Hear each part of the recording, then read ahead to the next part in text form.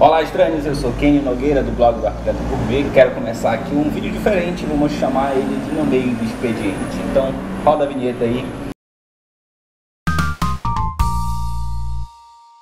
estou no meio da tarde trabalhando, resolvi fazer esse vídeo e aí é pra gente conversar, pra gente ter um papo muito sério. Não vai ser um vídeo para falar, não é um ateliê criativo, também não é um ateliê gourmet, não é um dicas do arquiteto gourmet, vai ser um dica pra gente conversar, papo, papo reto, é, tete a tete. Então, para que esse vídeo funcione, eu preciso que vocês deixem suas mensagens, suas perguntas, ou aqui no, nossa, no nosso vídeo no YouTube ou lá nas nossas redes sociais. Não segue ainda o Arquiteto Gourmet nas redes sociais então segue lá o Arquiteto Gourmet no Instagram, lá vocês podem ver todas as postagens, tudo que nós estamos fazendo e aí você pode comentar lá no direct e aí eu vou tentar responder para vocês o mais rápido possível, o mais breve possível aqui dentro do no meio do expediente. O primeiro vídeo que eu quero falar para vocês é sobre administração de escritório é muito complicado. Assim. Primeiro, nós não aprendemos nada sobre finalização, sobre dinheiro, sobre como trabalhar com dinheiro é, na nossa vida toda. E nós também não, faz, não aprendemos muito menos isso dentro da universidade. Apesar que nós tínhamos um, uma matéria administração na época, lá na minha época de faculdade, mas não falavam nada sobre administrar o escritório. E é muito difícil essa parte de administração do escritório. Você tem que pensar duas coisas e é isso que eu também estou devendo um vídeo para vocês, mas na quinta-feira vai sair um vídeo sobre falando sobre isso, sobre home office, sobre escritório.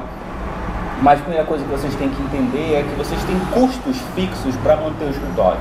Seja comprar um bom computador, seja comprar uma boa tela, seja impressão, seja transporte, vocês têm esses custos que vocês vão ter, mesmo se vocês trabalharem dentro de casa.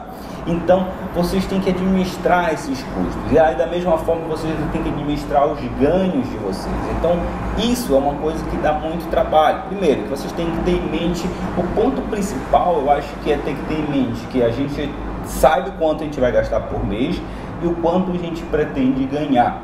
E esse ponto de quanto você tem que administrar todas essas tarefas vão influenciar diretamente no quanto você vai cobrar para os seus clientes. Então vocês têm que saber administrar isso. Outro ponto importante na administração é, do escritório é com relação a funcionários. Caso você tenha funcionário dentro do escritório, caso você tenha funcionário dentro de obra, como é que você vai administrar? Como é que você vai gerenciar tudo isso?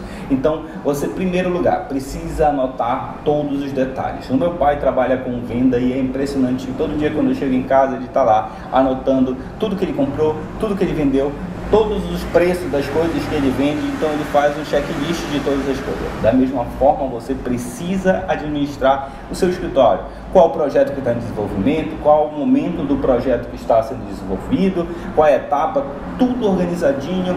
É, é, por mais que não seja numa planilha organizada, mas que seja num papel, uma dica muito importante para que eu possa dar para vocês aqui, ó, tem sempre um bloco de papel perto da, do seu teclado, perto da sua mesa, para você anotar tudo que você está fazendo, quais são as atividades, a organização, a administração disso também vai depender na organização das entregas do seu projeto.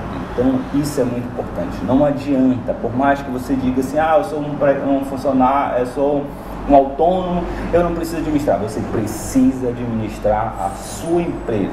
Não adianta você pensar que de, vai deixar fazer as coisas, cada cliente é um cliente. Não, organiza tudo, organiza sua agenda, organiza seu horário de visitar a obra, organiza seu horário de atender clientes, seu horário de fazer projeto. Ah, vou fazer só esse projeto até acabar eu faço outro. Não, organize o seu tempo para que você possa administrar. Não é fácil administrar um escritório. É bacana ter um escritório? Maravilhoso. É a coisa mais bacana do mundo ter o seu próprio horário, conseguir parar no meio do expediente, gravar um vídeo, mas precisa ter administração de finanças, administração de equipamento, administração dos projetos e administração do tempo, tá certo?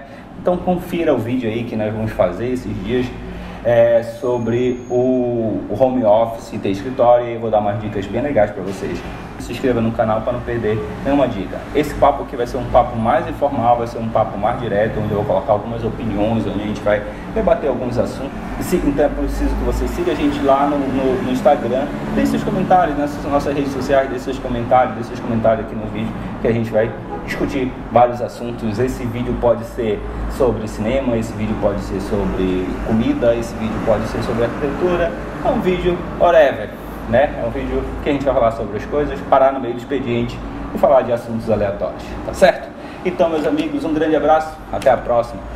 Abraço.